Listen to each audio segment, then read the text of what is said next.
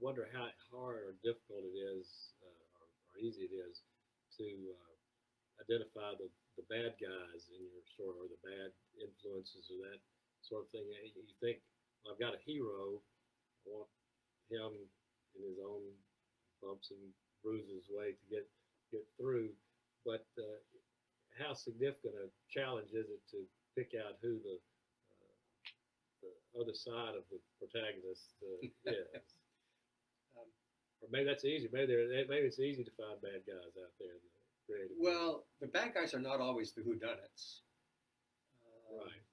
In fact, oftentimes uh, the bad guys uh, work very very nicely as red herrings.